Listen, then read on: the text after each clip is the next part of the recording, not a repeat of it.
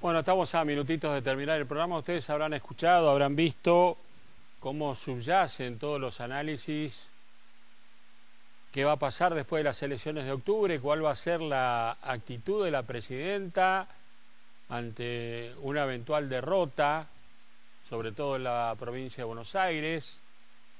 Eh, yo insisto que la presidencia está pensando cambios, al menos en su gobierno. Después, obviamente, se verán los nombres. Pero yo insisto que la presidenta se quiere ir bien. Se quiere ir bien. Eh, quiere terminar bien en el 2015.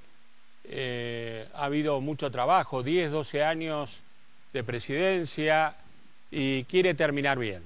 Quiere terminar bien, tiene que terminar, quiere terminar con adhesión, con índices de adhesión eh, importantes.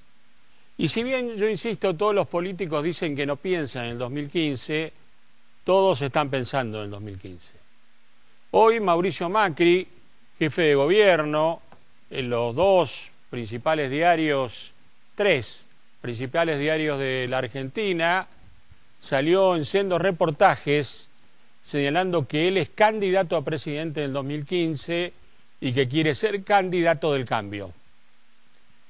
Realizó un fuerte gesto Macri porque veía desaliento en sus filas, porque veía también que Massa y Scioli avanzaban sobre una franja que él comparte a medias. De Massa dijo que no sabe si es oficialista o opositor, y de Scioli dijo que siempre dijo lo mismo. Macri quiere instalarse en el escenario del 2015, más allá del resultado de octubre, y esto es lo que pretende hacer.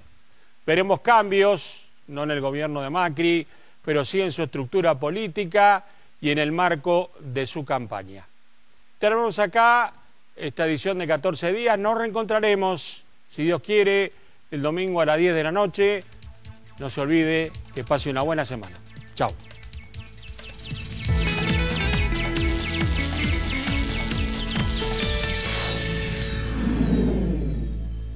Viajar es mucho más que conocer, es conectarnos. Banco Credicop Cooperativo